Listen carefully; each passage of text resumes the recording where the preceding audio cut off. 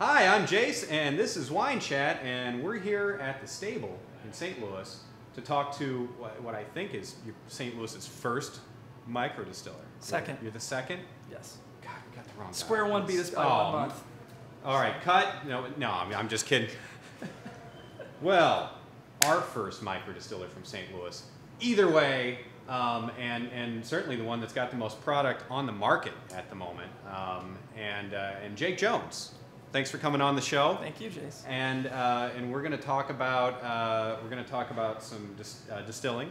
We're going to talk about uh, 85 lashes rum, and we might talk about porn later. Um, so it's going to be a full conversation. talk about porn. We're going to talk about porn. This will be our highest viewed episode ever, after the, after the Lady Hennessy episode, which I think is oh, still number one no, on that's my YouTube. number one too. Everybody's, especially Chris's. So anyway, uh, you're you're a distiller. How did you get this gig? And and I mean, just how do I do this? I want to I want to do this. I want to do what you do. How well, do I, I do really this? don't have a, a really good story other than my brother believed that I would be good at it, and because I was always good at math and science in, in high school. Uh, That never, rules me out right never there. had any formal training um, or, or anything other than just one of the owners, Mike Stapleton, um, set this place up. He's one of the investors, and he, he showed me everything he knew, and I kind of took the ball and ran with it and worked on the new the new products that we have out today, the the grappas and things like that. So your flagship is uh, is 85 lashes rum Yes, at the moment. I mean, that's what you guys are really like trying to make. that's a what we want with. to Yeah. focus on. Uh, focus. Um, why rum? Um, that's a good question. I, I think a lot of it had to do with um, it was one of our better products at the time when the decision was made, but also because my brother, I think, thought it was a product that could be mixed with other uh, mixed drinks and could be used a lot behind the bar, and so I think that was one of the decisions too. Now I've talked to you about this before, though. You don't mix it, do you? No, You I drink it straight. Drink it on the rocks, actually. So. Um, and, and it's pretty good that way. Um, but do you find a lot of people here at the stable are mixing it as a better way to get it to the customer?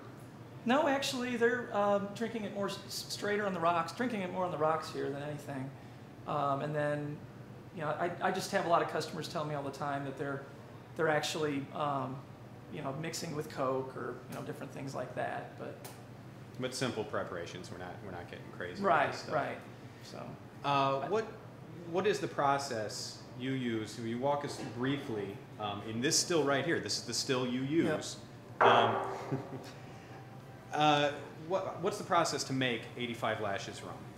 Well, simply uh, put, we, we ferment a cane, sugar, and molasses mixture um, in a 55 gallon barrel. Usually we'll do five or six of those. And once those are done fermenting, usually takes about a month. Uh, we'll pump the, the fermentation over into the pot. So I'll have to run about five or six of those barrels through this pot here to get another 12 to 14 carboys of 135 proof rum. Then what I'll do is I'll take all that rum and put it back through again um, and then redistill it. When I do the second distillation, that takes, takes even more heads off, uh, which are, heads are considered the poisons and things like that. It also uh, makes it a little smoother. Um, and then it, when it's distilled the second time, it's at 160, 165 proof, which helps it age much faster. Um, the wood that we, we don't actually use barrels here, we use stainless vessels. And then we take a, uh, a wood that's toasted our specifications.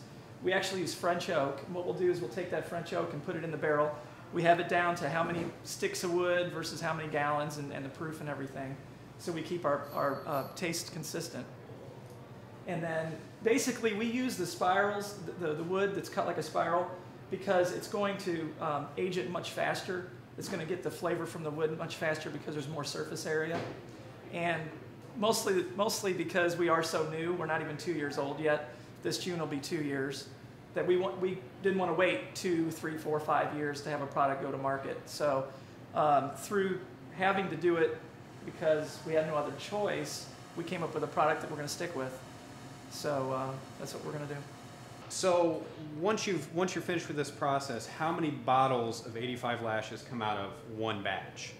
Usually 350, Okay. no more than 400. I've never had 400 out of one batch. It just depends on the amount of alcohol in each fermentation. That's the bottom line.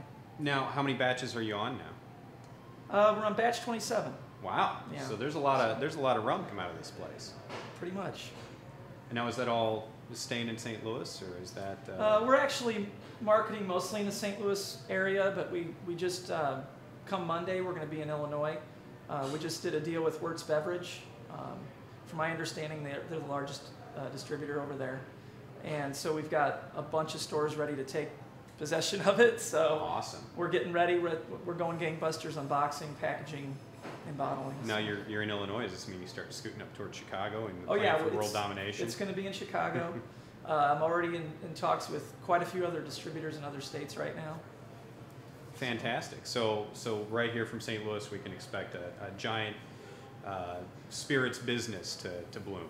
Yeah, we're trying to expand out within our area and just keep circling out and out and out. Yeah.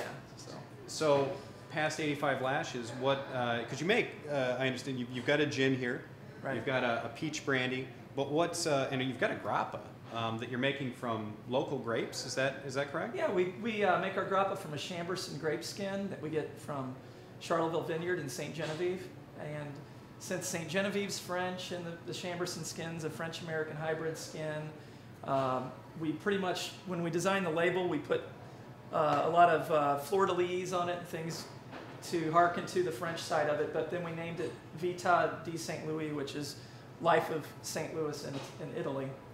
Um, we actually just recently had Banfi try our grappa and they liked it. They were in, in town for some event. And then they took a bottle back to Italy and they're going to send us pictures back. So that, that's going to be Of- of interesting. people drinking your grappa in Italy. Yeah, yeah. Awesome. So that's going to be cool. Uh, so what uh, beyond grappa, and we like the grappa, by the way. We've uh, you know the Pope's behind the camera, but, but we like the can the, the grappa. Um, and I've just had a sample of your corn, Right. your peach corn whiskey, Right. um, which I, I give the thumbs up, but that's still tentative. What's what's the what, can we expect that on the market soon? Yes, we've got a approval for it. We've just we're just working on uh, just the final aging of it. See how long we need to age it. Basically, what we did was we made a corn whiskey, and then we distilled uh, peaches through that. It doesn't have a real heavy peach taste. No. Just a, the smallest amount of essence came over from the peaches, and then because it's peach and corn whiskey, we're calling it porn. So Yeah, and this ain't it's not that exciting. but- This this ain't tutti frutti stuff either, though. This is serious. Uh, you know, I, I, I guess it's it's not a whiskey and it's not a brandy really, Right. um, but it's but it's a very relatively dry spirit um, and tasty. But do you plan to do? Uh, are you going to cater to the masses? Do some liqueurs or some flavored spirits in the future? Uh, we have a Sambuca that we've pretty much did test batches. Everyone loves it uh, that tries it. We haven't got our uh, formula approval yet on that. That's just a matter of me getting off my butt and doing the paperwork. Um, but but pretty much, yeah, we're gonna do some. We're gonna do absinthe. Um, we're gonna do an ouzo. We're gonna basically stick to marketing 85 Lashes as our main flagship, as you call it. Uh, but then all these other spirits give people a chance when they come in here to see what, what all other spirits we can do and have other things to try. I just hate it when people come in to the distillery and they, we only have one product for them to try. So we want to keep at least four available at all times. So Well, I, I'm excited to see the new stuff, um, but I'm enjoying the current stuff. Is there anything you'd rather be doing right now than what you're doing? no, I can't think of anything. That's awesome. Yeah, Jake, I've got the best job in the world. Thanks for coming out. We got we got some. Uh, w- this is the 85 lashes right here. Yep. All right. All right. Let's let's do some drinking. Till next time. Salute. Cheers.